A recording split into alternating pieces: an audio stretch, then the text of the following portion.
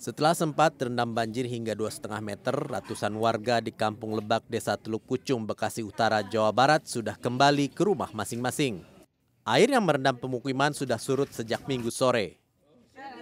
Satu unit mobil pemadam kebakaran dari kota Bekasi dikerahkan untuk membantu proses penyemprotan jalan yang terendam air bercampur lumpur. Warga yang sempat mengungsi saat ini sangat membutuhkan bantuan berupa makanan dan air bersih. Namun hingga malam ini belum ada satupun bantuan yang datang.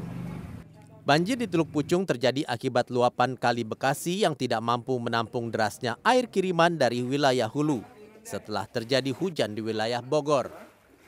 Di rumah masing-masing mungkin bersih-bersih, sebagian masih ada di pengungsian yang bisa mengambil apa barang-barang yang bisa dibersihkan dan sebagainya.